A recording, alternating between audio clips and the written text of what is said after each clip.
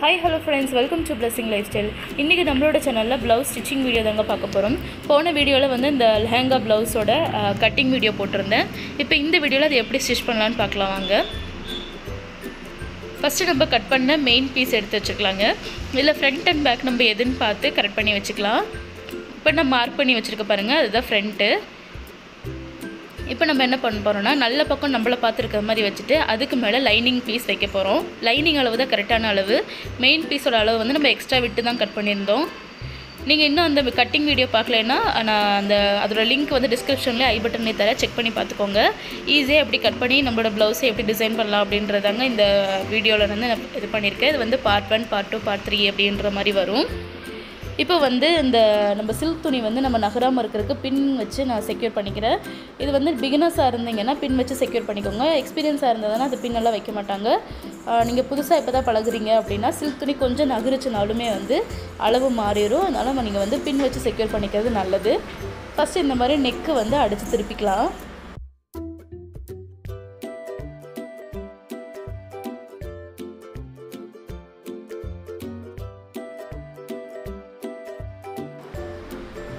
நம்ம பின்னு கழட்டிட்டு நம்ம திருப்பி எடுத்துக்கலாங்க. நெக்ஸ்ட்டு எப்பவும் போல் அந்த நெக்குக்கிட்ட எக்ஸ்ட்ரா இருக்க பீஸை நம்ம வந்து கட் பண்ணி விட்டுக்கலாம். இந்த மாதிரி கட் பண்ணால் தான் நம்மளுக்கு திருப்பி வரும்போது அந்த கர்வ் வந்து கரெக்டாக அழகாக அந்த ஷேப் வந்து அழகாக வரும். அரை இன்ச்சுக்கு மேலே துணி அதிகமாக விட வேண்டாங்க. இப்போ துணியை நல்லா இந்த பக்கம் திருப்பின பின்னாடி உங்களுக்கு வேணும்னா பின் வச்சு செக்யூர் பண்ணிக்கோங்க. நம்ம வந்து இந்த அளவு சுற்றி வந்து நம்ம மிஷினில் இருக்கிறதுலே பெரிய தையல் வச்சு ஃபுல்லாக சுற்றி வர தையல் போட்டுக்கலாம். நம்ம இந்த மாதிரி தையல் போட்டுட்டோன்னா நம்மளுக்கு தைக்கும்போது ஃபினிஷிங் நல்லா வரும். இல்லைனா கொஞ்சம் கோணமானலாம் வந்துச்சுனாலும் ஃபினிஷிங் நல்லாவே இருக்காது. இந்த சின்ன சின்ன விஷயங்கள் நீங்கள் ஃபாலோ பண்ணி செஞ்சீங்கன்னா கரெக்டான ஃபினிஷிங்கில் ப்ளவுஸ் தைச்சி முடிச்சிடலாங்க. நம்ம நல்லா பழகிருந்தோன்னா இந்த மாதிரி அந்த பின் குத்தி இந்த சுற்றி வர தையல் போடணுன்னுலாம் அவசியமே இல்லை. நீங்கள் புதுசாக இப்போ தான் பழகுறீங்கன்னா கண்டிப்பாக அந்த மாதிரி ஸ்டிச் போட்டு வச்சுக்கோங்க. அப்போ தான் ஃபஸ்ட்டு ப்ளவுஸே நீங்கள் வந்து அழகாக நல்ல ஃபினிஷிங்கோடு தைக்க முடியும்.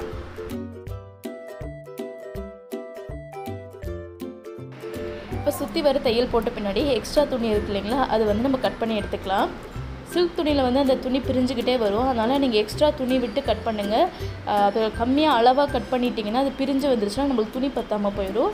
அதனால் மெயின் பீஸ் கட் பண்ணும்போது எப்பொழுதுமே எக்ஸ்ட்ரா துணி விட்டு கட் பண்ணுங்கள் லைனிங் அளவு வந்து பர்ஃபெக்டாக கரெக்டான மெஷர்மெண்ட்டில் கட் பண்ணி எடுத்துக்கோங்க. இப்போ நான் சுற்றி வர இருக்கிற அந்த எக்ஸ்ட்ரா துணியை கட் பண்ணி எடுத்துக்கிறேன். இப்போ இதே மாதிரி ரெண்டு பீஸுமே நெக் அடித்து திருப்பிக்கலாங்க. பாருங்கள் ஃப்ரண்ட் நெக் அடித்து திருப்பியாச்சு. இப்போ நம்ம டாட் பிடிக்க வேண்டியதாக இதில். அளவுகள் கரெக்டாக இருக்கான்னு செக் பண்ணிக்கோங்க. நெக் அளவும் அந்த பீஸோட அளவு வந்து ஒரே மாதிரி அளவு அந்த ஹூக் பட்டியெல்லாம் வரும் இல்லைங்களா? அந்த இடத்துல அளவு வந்து மாறாமல் ஒன்று ஏற்ற குறைவாக இல்லாமல் கரெக்டாக இருக்கான்னு செக் பண்ணிக்கோங்க.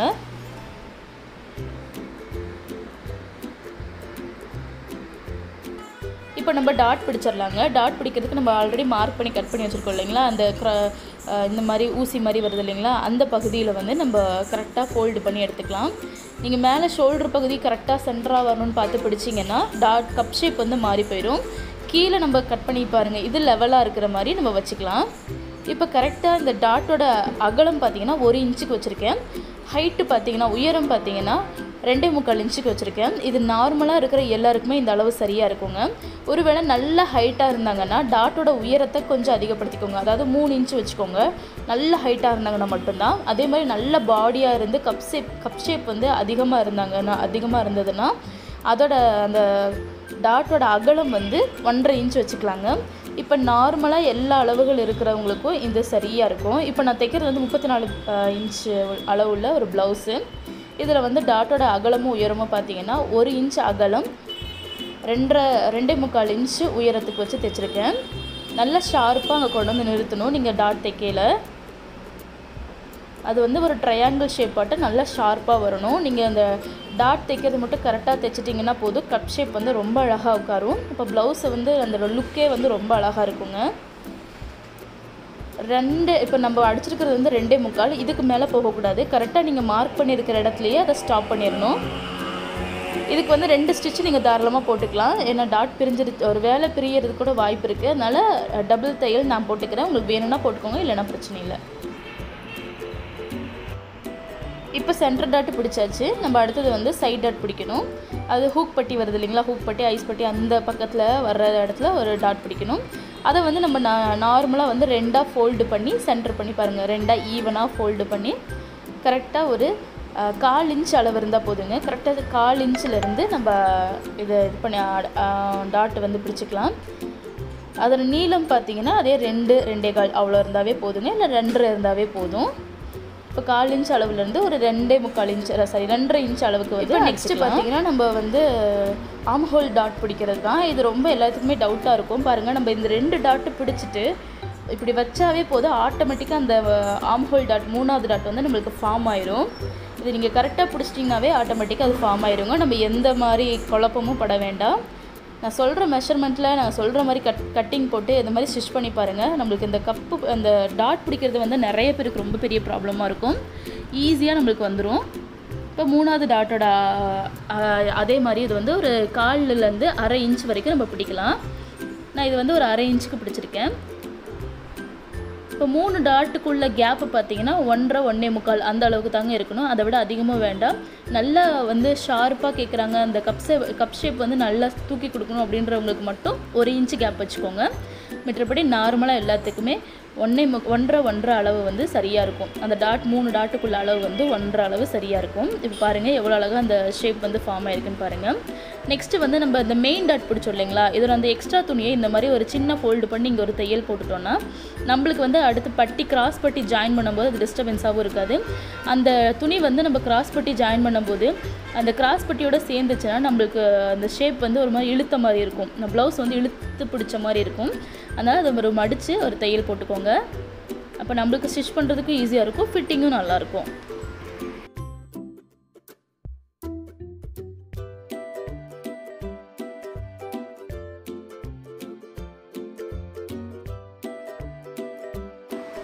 இதே மாதிரி இன்னொரு பீஸையும் நம்ம ஸ்டிச் பண்ணி எடுத்துக்கலாங்க.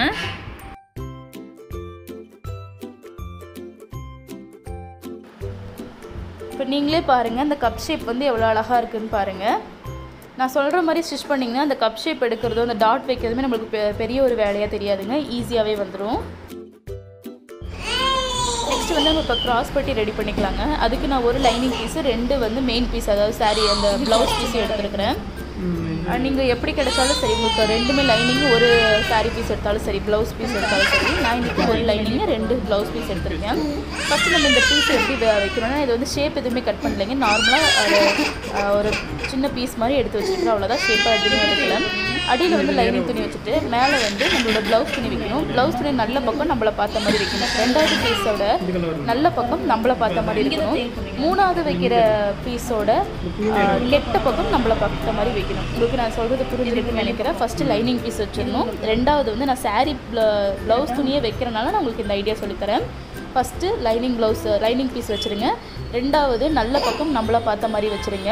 மூணாவது பீஸ் வைக்கிறது கெட்ட பக்கம் நம்மளை பார்த்த மாதிரி வச்சுருங்க. இந்த மாதிரி மூணு ஆர்டரில் வச்சுட்டு நம்ம இதை வந்து ஸ்டிச் பண்ணிடலாம். பார்த்து உங்களுக்கு பாருங்கள் நான் இப்போ கை வைக்கிறேன் இல்லைங்களா? அந்த பகுதி வந்து நல்ல பக்கம். ரெண்டாவது பீஸோட பகுதி வந்து நல்ல பக்கம். இப்போ மேலே இருக்கிறது கெட்ட பக்கம். இப்படி வச்சிங்கன்னா நம்ம அடிச்சு திருப்பும்போது கரெக்டாக வரும். இப்போ பார்த்தீங்கன்னா மூணு பீஸ் அடுக்கியாச்சு. இது பாருங்கள் நல்ல பெரிய பீஸாகவே எடுத்துருக்குறேன். கிட்டத்தட்ட அஞ்சு இன்ச் இருக்குது. நம்மளுக்கு தேவையான அளவு வந்து ஒரு மூணு இன்ச்சு நாலு இன்ச் அளவுக்கு தான் நம்மளுக்கு தேவைங்க.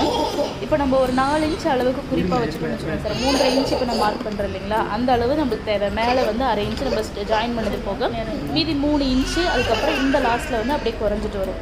அந்த அளவுக்கு நான் வந்து மார்க் பண்ணிவிட்டு கீழே அவ்வளோ துணி இருக்கு இல்லைங்களா? கிட்டத்தட்ட அது வந்து ஒன்றரை இன்ச்சு துணி. அதை நான் வந்து கட் பண்ணவே இல்லை. நான் அப்படியே அடிச்சு தான் திருப்புறேன். ஏன் அப்படியே அடித்து திருப்புறேன்னா நம்மளுக்கு அந்த பெல்ட் மாதிரி அது வந்து உட்காந்துருக்கும் அந்த துணி அப்படியே திக்காக திருப்பும்போது நம்மளுக்கு கீழே ப்ளவுஸ் வந்து அழகாக ஷேப்பாக அந்த பெல்ட் மாதிரி அப்படியே உட்காந்துக்குங்க நம்மளுக்கு மேலே தூக்கவும் செய்யாது கீழே இறங்கவும் செய்யாது. அதனால தான் அந்த துணி அப்படியே வச்சு திருப்ப சொல்கிறேன் இப்போ நம்ம அடித்து திருப்பிக்கலாம்.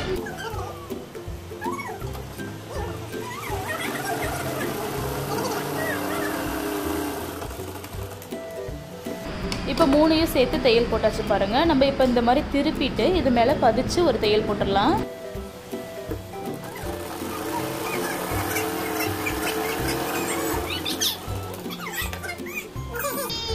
இப்போ பதிச்சு தையல் போட்ட பின்னாடி நம்ம திருப்பி வச்சு அதுக்கு மேலே இன்னொரு தையல் போட்டுடலாங்க. இது நீங்கள் டேரெக்டாகவே திருப்பி போட்டிருக்கலாம். பட் நம்ம எதுக்கு பதிச்சு தையல் போட்டு அதுக்கப்புறம் திருப்புறோம்னா அதில் ஸ்டிப்ஸ்ன ஸ்டிஃப்னஸ் வந்து நல்லாயிருக்கும் நம்மளுக்கு அது தைக்கும் பொழுது ஈஸியாக இருக்கும் போடும் பொழுது நல்லாயிருக்கும். அதனால தான் இத்தனை தையல் போடுறது எதுக்கு இவ்வளோ தையல் தேவையா அப்படிலாம் நீ யோசிக்கலாம். ஏன்னா திருப்பிட்டே ஒரே தையல் அடிச்சுக்கலாம்னு யோசிக்கலாம். பட் நம்ம பதிச்சு தையல் போட்டு திருப்பினோம்னா அது அழகாக உட்காருங்க அதுக்கு தான்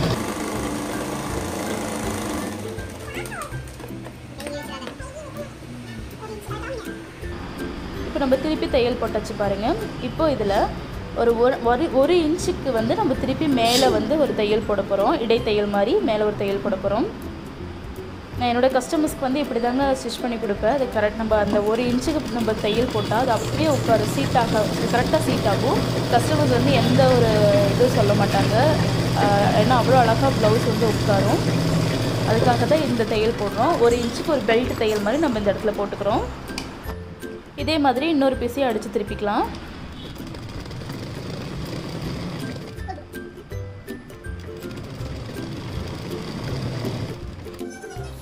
இப்போ நம்ம ரெண்டு பீஸையும் அடித்து தைச்சாச்சுங்க திருப்பியாச்சுங்க. இப்போ வந்து நம்ம டாட் பிடிச்சோம் இல்லைங்களா அந்த பீஸையும் பட்டியும் வச்சு ஹைட் செக் பண்ணி பார்த்துக்கலாம்.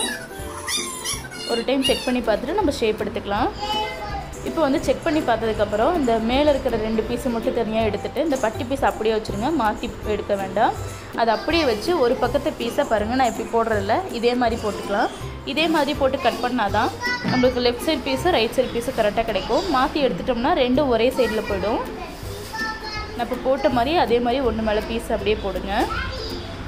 அதுக்கப்புறம் இதுக்கு அளவு வந்து மார்க் பண்ணி இப்போ நம்ம கட் பண்ணி எடுத்துக்க வேண்டியதான் இதில் ஹைட் வந்து மூணு இன்ச்சு தான் நம்மளுக்கு வேணும். அதுக்கப்புறம் அந்த லாஸ்ட்டில் வந்து ரெண்டரை இன்ச் இருந்தால் போதும். அதாவது வந்து ஜாயின் பண்ணதோடு சேர்த்து மூன்றரை ரெண்டு ரெண்டரை இருந்தால் போதும்.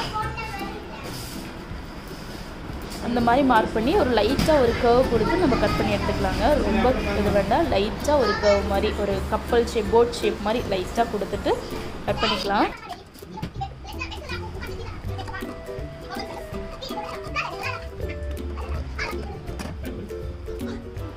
இப்போ கட் பண்ணதுக்கப்புறம் அந்த ஹைட்டை வந்து திருப்பி அந்த பீஸ் வச்சு ஒரு டைம் செக் பண்ணிவிட்டு நம்ம ஜாயின் பண்ணி விட்டுற வேண்டியதாங்க இப்போ பட்டி பீஸ் ஜாயின் பண்ணும்போது பாருங்கள் இந்த மேலே டாட் பிடிச்ச பீஸ் வச்சுட்டு இந்த பட்டி எடுத்து அப்படியே மேலே போட்டு ஜாயின் பண்ணிட வேண்டியதான் நான் போடுறேன் இல்லைங்களா? இதே மாதிரி சேர்த்து அப்படியே ஒரு தையல் ஒரு அரை இன்ச்சுக்கு இல்லைன்னா கால் இன்ச்சுக்கு. நீங்கள் ஸ்டீம் ஸ்டிச்சிங் அலவன்ஸ் எவ்வளோ விட்ருக்கீங்களோ அவ்வளோக்கு அளவாக தைச்சிக்கோங்க. உங்களுக்கு வேணும்னா இந்த மாதிரி அந்த இதுக்கு மேலே ஒரு ஒரு சும்மா ஒரு தையல் கூட போட்டுக்கலாம். இல்லைன்னா நீங்கள் அப்படியே கூட ஜாயின் பண்ணிக்கலாம். நான் தையல் போட்டுகிட்டே நான் வந்து ஜாயின் பண்ணிக்கிறேன்.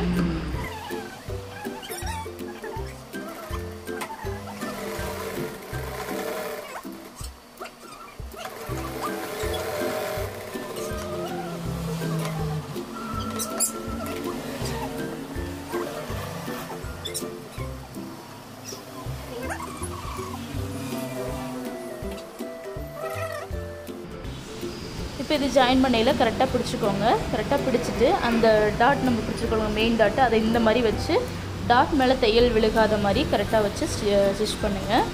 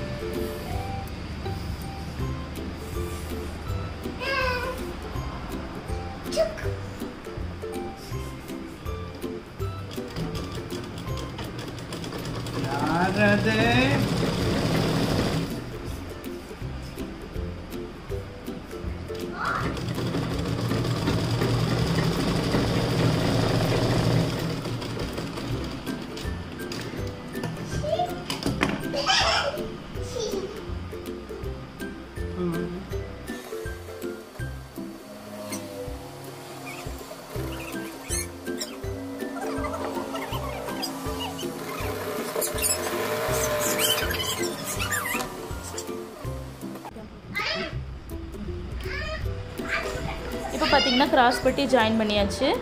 பாருங்கள் அழகாக அதில் ஃபினிஷிங் பார்த்தாலே உங்களுக்கு தெரியுது பாருங்கள் நல்லா நீட்டாக வந்திருக்கு. இதே மாதிரி இப்போ நெக்ஸ்ட் பீஸையும் நம்ம ஸ்டிச் பண்ணி எடுத்துக்கலாம். இப்போ பட்டி ஜாயின் பண்ணோடனே இதில் ஹைட்டு சரியாக இருக்கான்னு ஒரு டைம் செக் பண்ணிக்கோங்க. இப்போ நம்ம இந்த கிராஸ் பட்டி ஜாயின் பண்ணோம் இல்லைங்களா? ரெண்டு ஜாயின் பண்ண இடத்துல ஒரு தையல் போட போகிறோம் நம்ம எப்படி தையல் போகிறோம்னா மேலே அது பதிச்சு ஒரு தையலோ அதுக்கு கீழே ஒரு அரை இன்ச்சில் எடை தையல் மாதிரியும் போட போகிறோம் பின்பக்கம் பார்த்தீங்கன்னா இந்த ஜாயின் பண்ண பீஸ் இருக்கு இல்லைங்களா? இதை கீழே தள்ளி கீழ் பார்த்த மாதிரி வச்சுட்டு நம்ம மேலே தையல் போட போகிறோங்க இது கீழ் பார்த்த மாதிரி இருக்கணும். மேலே பார்த்த மாதிரி வச்சிங்கன்னா நம்மளுக்கு கிராஸ் கரெக்டாக உட்காராது. அந்த கப் ஷேப் கரெக்டாக உட்காராது. இந்த மாதிரி கீழே வச்சுட்டு கீழே தள்ளி வச்சுட்டு அதுக்கப்புறம் மேலே பதிச்ச தையலும் ஒரு அரை இன்ச்சுக்கு இடைத்தையலும் போட்டுக்கலாம்.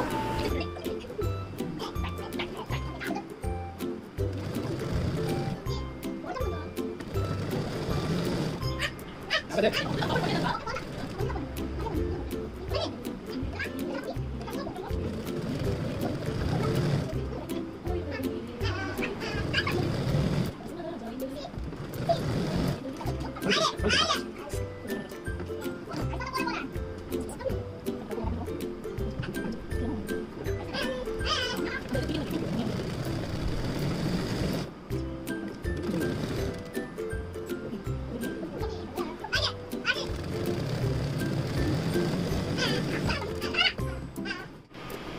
பார்த்தீங்கன்னா ஃப்ரண்ட் பீஸ் பட்டியெல்லாம் ஜாயின் பண்ணியாச்சு. பட்டியில் வந்து கிட்டத்தட்ட எக்ஸ்ட்ரா வந்து ரெண்டு தையல் தே போட்டிருக்கு. ஆனால் அந்த தையல் வந்து நம்மளுக்கு அசிங்கமாகவே தெரியாது. அது நீங்கள் இப்போ ஸ்டிச்சிங்கில் பார்க்கும்போது தெரியும் பாருங்கள் அவ்வளோ ஸ்டிஃபாக இருக்கு இல்லைங்களா? அதே மாதிரி தான் நம்ம பாடிலையும் அது அழகாக உட்காரும். பாடி ஷேப்பும் நம்மளுக்கு அழகாக எடுத்து கொடுக்குங்க. இப்போ நெக்ஸ்ட்டு வந்து நம்ம பட்டி ஹூக் பட்டி ரெடி பண்ணிக்கலாங்க. நம்ம லைனிங் பீஸ் எடுத்துகிட்டு ஹூக் பட்டி நார்மலாக உங்களுக்கு தெரியும்ல? அதே ப்ரொசீஜரில் வந்து நான் ஹூக் கட்டி சாரி ஹூக் பட்டி அடிக்கிறேன். ஒரு சின்ன ஃபோல்டு பண்ணி இங்கே ஒரு தையல் போட்டு திருப்பி நம்ம அடிச்சு எடுத்துக்கலாம்.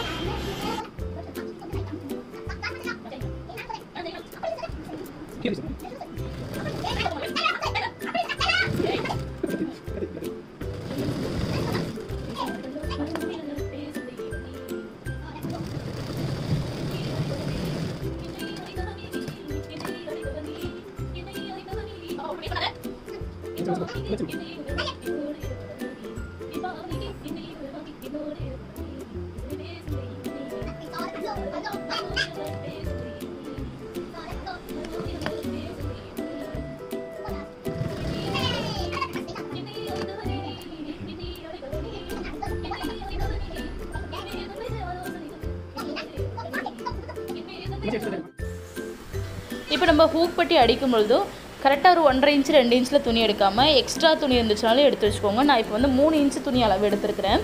நம்ம அது வந்து நல்லா திக் பீஸாக கொடுத்தா தான் நல்லாயிருக்கும் ஹூக் பட்டிக்கு. அது எப்போவுமே ஞாபகம் வச்சுக்கோங்க. ஒரு மூணு இன்ச் நாலு இன்ச் அளவுக்கு கூட நீங்கள் எடுத்துக்கலாம். அதை வந்து ரெண்டு ஃபோல்டு மூணு ஃபோல்டாக பண்ணி கூட கொடுத்தீங்கன்னா நல்லா ஸ்டிஃபாக இருக்கும்.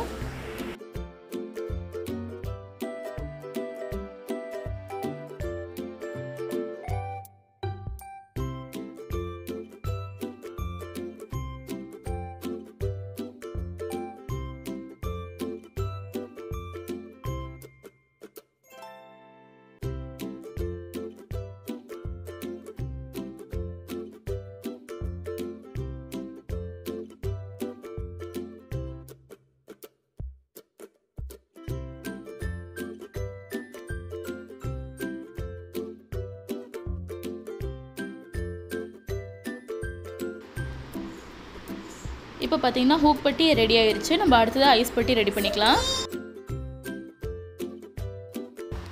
நம்ம ஐஸ் பட்டி வைக்கும்போது அப்படி தாங்க நம்ம ஒரு மூன்றரை இன்ச்சு நாலு இன்ச்சு அளவுக்கு துணியில் எடு துணி எடுத்துட்டு நம்ம ஸ்டிச் பண்ணிக்கலாம். இப்போ நம்ம ஹூக் பட்டி வைக்கும்போது ப்ளவுஸோட மெயின் பீஸ் ஃப்ரண்ட் பார்க்க இருக்கு இல்லைங்களா? அந்த பகுதியில் வச்சு தான் நம்ம ஹூக் பட்டி அடிப்போம். ஐஸ் பட்டி அடிக்கும்போது ப்ளவுஸோட பின் பக்கத்தை திருப்பிக்கோங்க. நம்மளுக்கு இந்த மாதிரி ஸ்டிச்சஸில் தெரியும்ல இந்த பக்கத்தில் திருப்பி நம்ம துணியை வச்சு அடித்து திருப்பணும். முன்பக்கம் வந்து தையல் வர மாதிரி திருப்பணும். உங்களுக்கு புரியுதுன்னு நினைக்கிறேன். நார்ம நார்மலாக எல்லாருமே அந்த ப்ளவுஸ் ஹூக் ப்ளவுஸும் ஹூக் பட்டி அடிக்கிற மாதிரி தான் நானும் அடிச்சிருக்கேன். இதில் எந்த டிஃப்ரென்ஸும் பண்ணல. ப்ளவுஸ் ஸ்டிச்சிங் மெத்தட் அந்த டாட் பிடிக்கிறதோ கீழே அந்த கிராஸ் பட்டி பிடிக்கிறதுலேயும் தான் நான் வந்து டிஃப்ரென்ஸ் காமிச்சிருக்கேன் உங்களுக்கு. நம்ம இந்த மாதிரி அடித்த பின்னாடி ஒரு சிலர் வந்து வி ஷேப்பில் அந்த ஐ ஷேப் வைப்பாங்க. ஒரு சிலர் வந்து கையில் ஸ்டிச் பண்ணுற மாதிரி வைப்பாங்க. நான் இன்றைக்கி வி மாதிரி தான் வைக்க போகிறேன் அதனால் நான் திருப்பி வேணும்னா நீங்கள் பின் குத்திக்கோங்க. இல்லைன்னா அப்படியே வச்சு ஸ்டிச் பண்ணிக்கோங்க. நான் இன்றைக்கி உங்களுக்கு பின் குத்தியே சொல்லித்தரேன் நம்மளுக்கு தேவையான ஃபோல்டிங் அளவுக்கு ஃபோல்டு பண்ணிவிட்டு நம்ம பின் குத்திக்கலாங்க.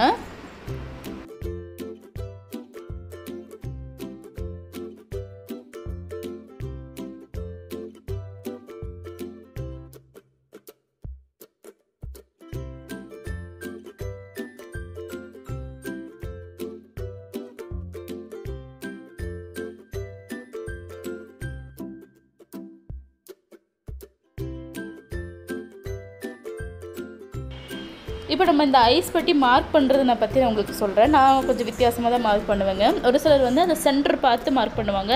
அஞ்சு ஹூக்குமே வந்து சென்டராக பார்த்து மார்க் பண்ணுவாங்க.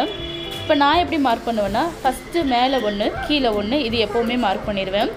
ரெண்டாவது ஃபஸ்ட்டு ஒன் மார்க் பண்ணிட்டோம் இல்லைங்களா? ரெண்டாவது வந்து நம்ம டாட் பிடிச்சோம் இல்லைங்களா? சைடு அந்த டாட் நான் கரெக்டாக இப்போ மார்க் பண்ணுற பாருங்கள் அந்த டாட்டுக்கிட்ட ஒன்று மீதி மூணு டாட்டுமே வந்து நம்ம கீழே இருக்கிற அந்த பட்டிக்குள்ளே முடிச்சிடணும். அதாவது வந்து இந்த பட்டி ஸ்டிச்சிங் இருக்கு இல்லைங்களா? அங்கே ஒன்றும் அதுக்கு நடுவில் ஒன்று மாதிரி அஞ்சு ஹூக்குமே நம்ம இந்த மாதிரி வச்சோன்னா நம்மளுக்கு வந்து அந்த பாருங்கள் அந்த டாட் கிட்ட வச்சுருக்கிற அந்த ஹூக் வந்து அழகாக அப்படியே இழுத்து கொடுக்கும்போது அந்த டாட் அழகாக உட்காரும். கீழே பட்டியில் நம்ம மூணு ஹூக்கு வந்துடுறதுனால நம்ம பட்டியுமே வந்து ஸ்டிஃபாக இருக்கும். இது வந்து நிறைய பேர் வந்து இந்த மாதிரி வைக்க மாட்டாங்க. நம்மளுக்கு ஒருவேளை கேப்பாக இருக்கோ அப்படின்னு உங்களுக்கு டவுட் கூட வரலாம். பட் கேப் எதுவுமே விழுகாதுங்க. அழகாக பிடிச்சிக்கும் சூப்பராக இருக்கும். இந்த மாதிரி ஹூக் வச்சு ஒரே ஒரு டைம் நீங்கள் ஸ்டிச் பண்ணலைன்னா ட்ரை பண்ணி பாருங்கள் நம்ம அழகாக வந்து அந்த ப்ளவுஸ் ஃப்ரண்ட் பீஸ் வந்து அழகாக உட்காரும். இந்த இது அந்த ஹூக் வைக்கிற அந்த மெத்தட் மட்டும் மறந்துட வேண்டாம். ஃபஸ்ட்டு மேலே ஒரு ஹுக் அடுத்தது வந்து நம்ம டாட் பிடிச்சிருக்கிற இடத்துல அந்த டாட்டுக்கு நேராக ஒரு ஹுக் மூணாவது மிற்ற மூணு ஹூக்குமே வந்து நம்ம பட்டி பிடிச்சிருக்கிற இடத்துல வச்சிட வேண்டியதாங்க இது எந்த ஹைட்டு கூடுனாலும் சரி குறைஞ்சாலும் சரி அதுக்கு ஏற்ற மாதிரி அட்ஜஸ்ட் பண்ணி வச்சிங்கன்னா நம்மளுக்கு கரெக்டாக இருக்கும் ஃப்ரண்ட் பீஸு இப்போ இதை வந்து வி ஷேப்பில் அடிச்சு எடுத்துக்கலாம்.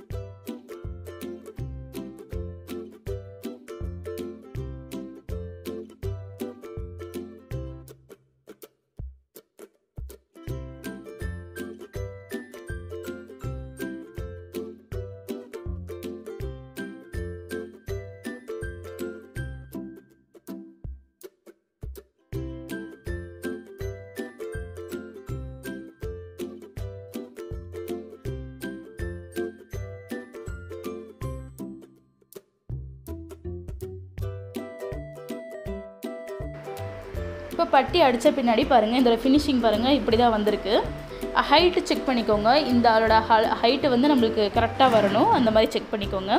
ஒன்று மேலே இப்போ ஒன்று வச்சாலும் அளவு வந்து கரெக்டாக வரணும்.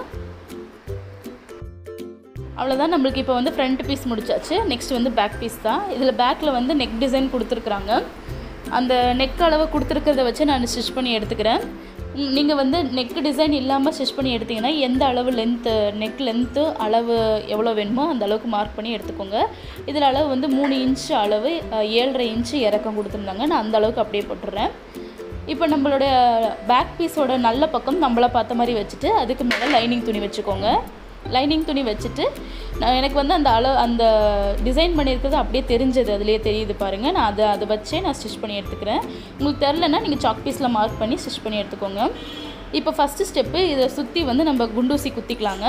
குண்டூசி குத்துனா இந்த துணி வந்து மாறாது. நம்மளுக்கு களைஞ்சு கிடைக்காது. அதனால் ஃபஸ்ட்டு வந்து குண்டூசி குத்திக்கோங்க. நம்ம இந்த மாதிரி சில்க் ப்ளவுஸு அதுக்கப்புறம் ஷிஃபான் சாரீ அந்த பூனம் சாரீஸ் இதெல்லாம் ஸ்டிச் பண்ணும்போது பிகினஸாக இருந்தீங்கன்னா பின் குத்திக்கோங்க. அப்போ தான் நம்மளுக்கு ஈஸியாக கிடைக்கும். ஸ்டிச் பண்ண முடியும். நம்மளுக்கு ரொம்ப டென்ஷன் இருக்காது. நெக்ஸ்ட்டு வந்து நான் இதோட ஃபூட்ரு மாற்றிக்கிறேங்க ஏன்னா நம்மளுக்கு அந்த ஸ்டோன் ஒர்க்கு கொடுத்துருக்கனால நம்ம டபுள் ஃபூட்ரு போட்டு அடிக்க முடியாது. நான் சிங்கிள் ஃபூட்ரு மாற்றி அடிச்சுக்கிறேன். இந்த மாதிரி சிங்கிள் ஃபுட்ரு ஒன்று வச்சுட்டிங்கன்னா நம்மளுக்கு நிறையா அந்த மாதிரி டிசைனிங் ஒர்க் பண்ணும்போது நமக்கு ஈஸியாக இருக்கும். பீட்ஸ் எல்லாம் வச்சு ஸ்டிச் பண்ணும்போது ஸ்டோன்ஸ் வச்சு ஸ்டிச் பண்ணும்போது நம்மளுக்கு சிங்கிள் ஃபுட்ரு இருந்தால் அந்த ஸ்டோன்ஸில் அடிப்படாமல் நம்ம ஸ்டிச் பண்ண முடியும். ஏன்னா ஸ்டோன்ஸில் அடிப்படிச்சா நம்மளுக்கு ஊசியும் உடஞ்சி போயிடும். ஸ்டோன்ஸுமே வந்து அது இதாகாது. அதனால் நீங்கள் இந்த மாதிரி சிங்கிள் ஃபுட்ரு ஒன்று வச்சுக்கோங்க. இந்த மாதிரி டிசைன் பண்ணும்போது மாற்றிக்கோங்க இப்போ நான் வந்து சிங்கிள் ஃபுட்ரு மாற்றி எடுத்துக்கிறேன். இப்போ ஃபூட்ரு மாற்றின பின்னாடி நம்ம வந்து பேக் பீஸ் அடித்து திருப்பி எடுத்துக்கலாங்க.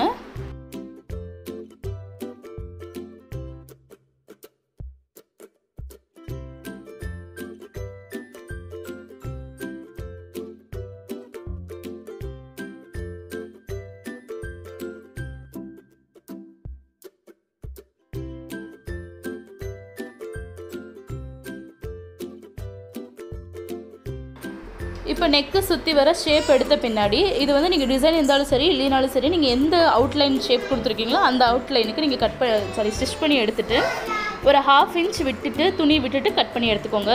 ஸ்டிச்சிங்கை ஒட்டி கட் பண்ணிடாதீங்க. ஒரு ஹாஃப் இன்ச் இல்லைன்னா கால் இன்ச் அளவுக்கு விட்டு நீங்கள் கட் பண்ணி எடுத்துக்கோங்க. இப்போ நம்ம அரை இன்ச் விட்டு கட் பண்ண பின்னாடி இதில் வந்து இந்த மாதிரி க்ராஸாக அங்கங்கே கட் பண்ணி விட்டுக்கோங்க. அந்த தையல் டச் பண்ண வேண்டாம். அதை ஒட்டி நீங்கள் கட் பண்ணி விட்டுக்கோங்க.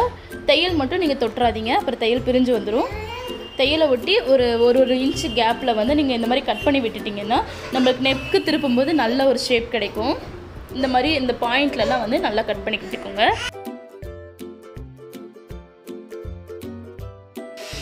நம்ம இந்த மாதிரி கட் பண்ணி விட்டுட்டு ப்ளவுஸை திருப்பி எடுத்துக்கலாங்க.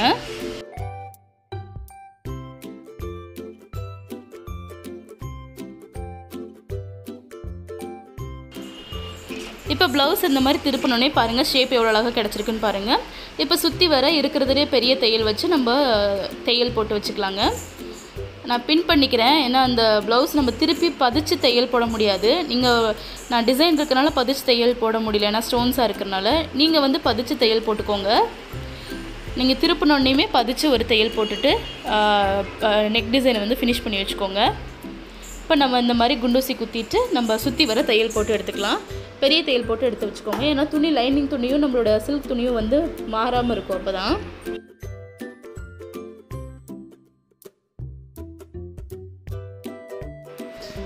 இப்போ இந்த மாதிரி சுற்றி வர தையல் போட்ட பின்னாடி எக்ஸ்ட்ரா இருக்கிற துணியை கட் பண்ணி எடுத்துக்கலாம்.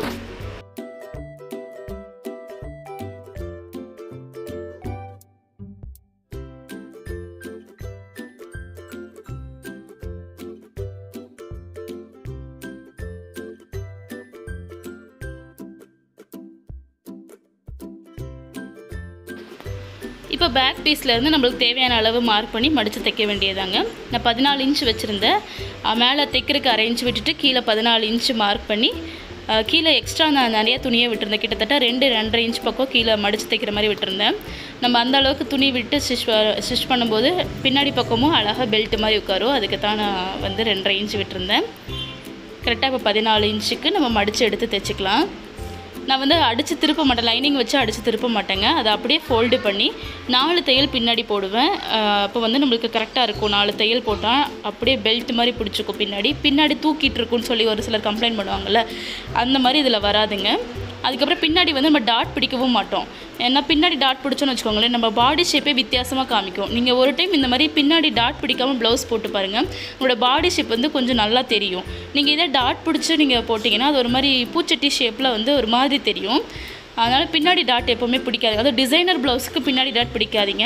இதே நீங்கள் full voile blouse plain blouse தைக்கிறீங்கன்னா பின்னாடி டாட் பிடிச்சிக்கோங்க. டிசைனர் ப்ளவுஸுக்கு மட்டும் நீங்கள் பின்னாடி டாட் பிடிக்காமல் இந்த மாதிரி தைச்சி பாருங்கள் உங்களுக்கு நீங்களே அந்த டிஃப்ரென்ஸ் உங்களுக்கு புரியும்.